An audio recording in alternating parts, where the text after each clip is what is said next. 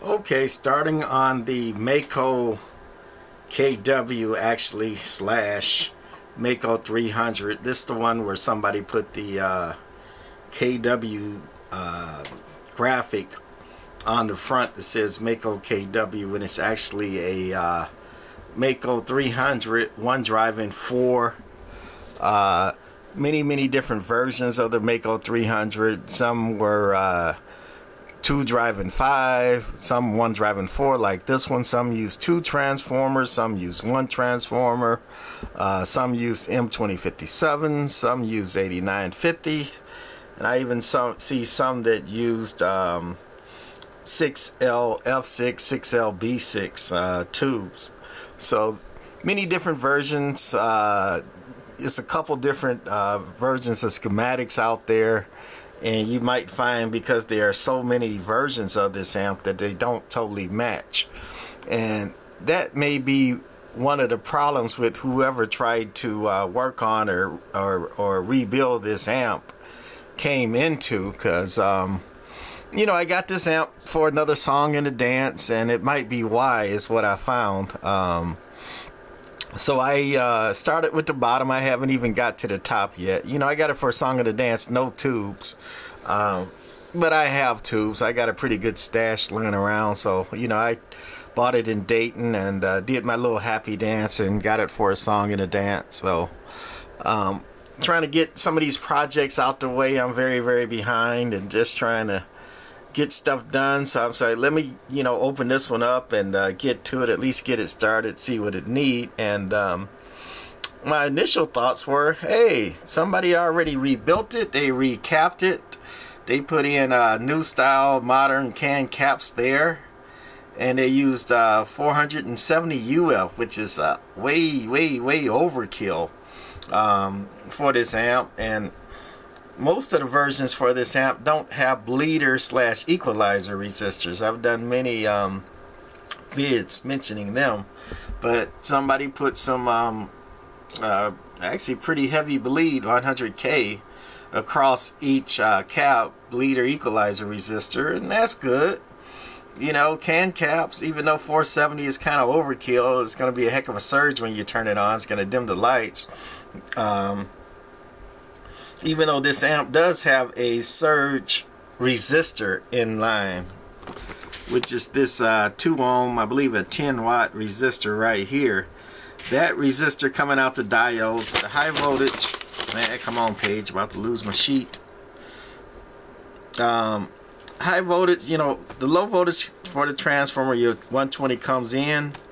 This is the high voltage going out it got a uh, low voltage tap there which we will talk about pretty soon because that's the problem with this amp or one of the problems that the uh, rebuilder ran into.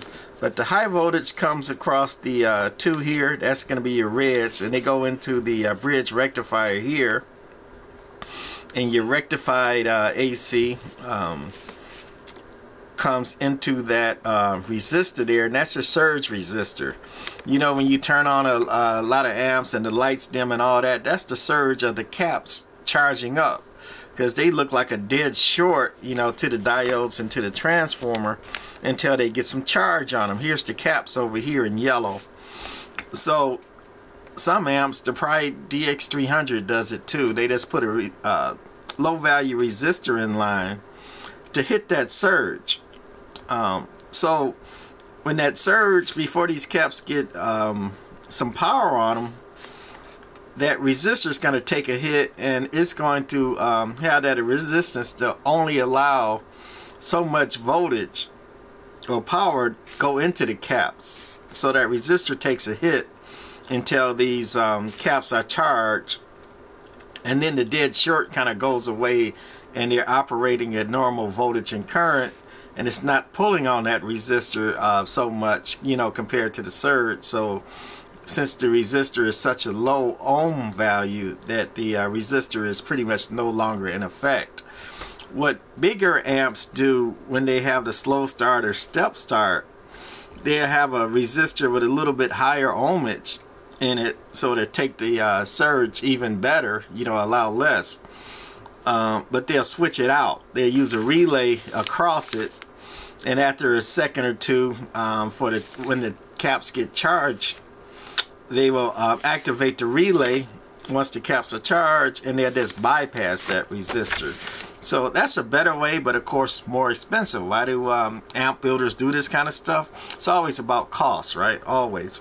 Uh, but anyway over here the three uh, caps in the schematic originally 120 UF um, at 450 volt and I got here that this high voltage runs at about 950 volts which is a lot for a sweep tube but um, um, Maco's ran you know ran them a little bit high a little bit hard you know on the tubes.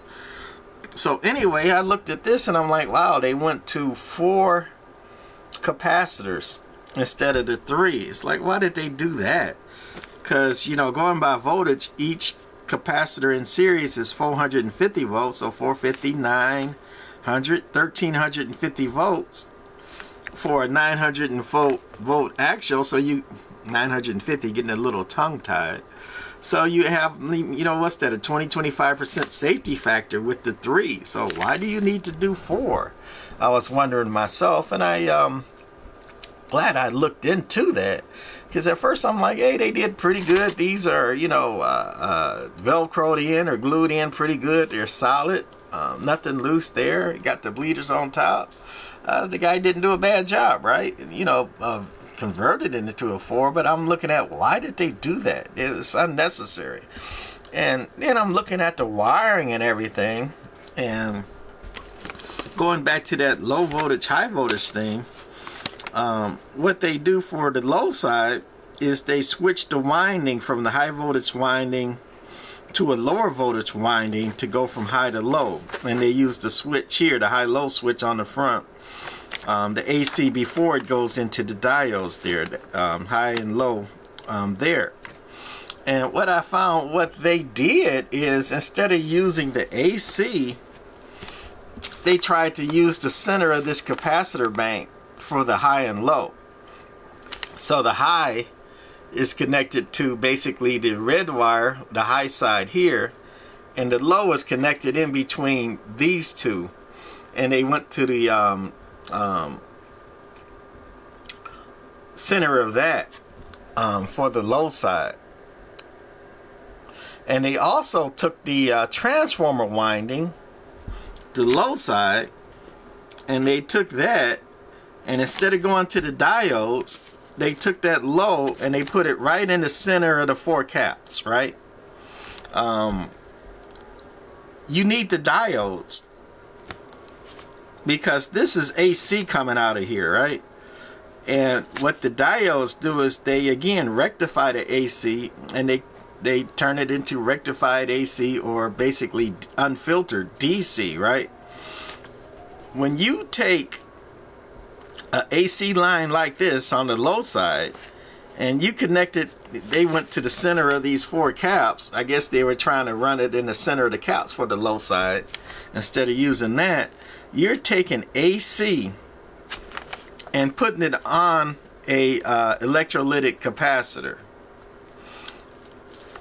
Electrolytic capacitors are one way only. They have a positive and a negative for a reason um, they don't tolerate AC going into them at all um, like that. And often you will hear pow, big giant boom explosion like a shotgun, and and and, and sm- you'll let the magic smoke out, and it scare the crap out of you. A lot of times, if you ever had a, uh, a filter cap explode like that, it's like boom, like what the frock. So anyway, that's what happens when you put direct high voltage AC on a um, electrolytic filter cap like that, especially a big one. I don't know if why they went to 470s since they had problems with it or or you know they were trying to run it that way with the AC because it takes a while for the uh, cap to heat up and then explode and I'm sure it wasn't right if they never had explosions or maybe they had you know blew up the smaller ones and that's why they tried to go bigger.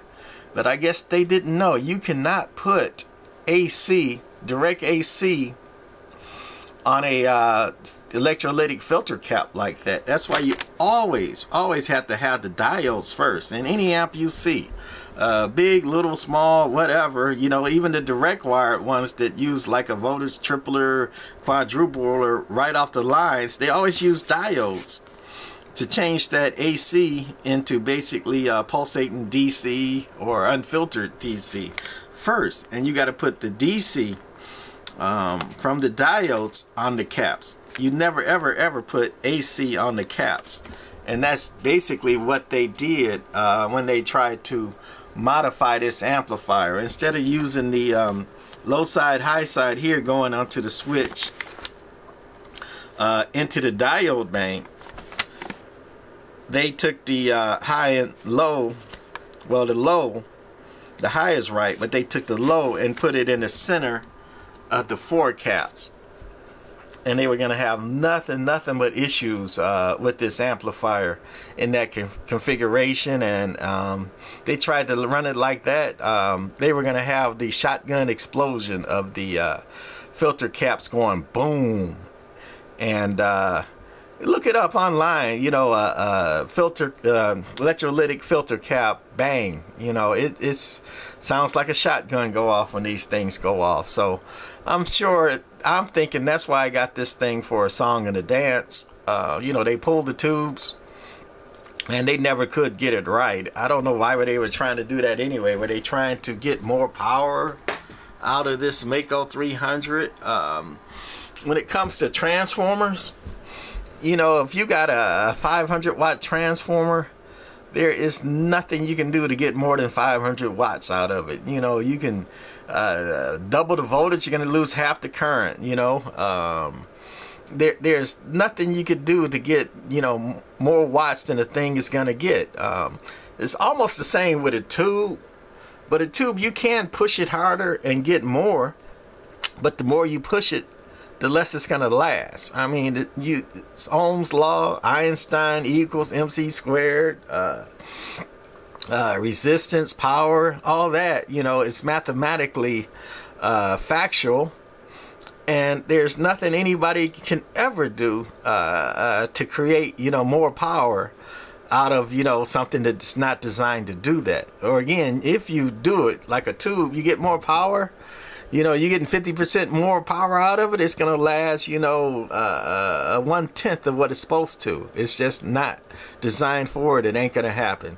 But anyway, that's my rant for this one. And we're going to start uh, trying to correct this, work the bugs out. Hopefully the transformer's not blown.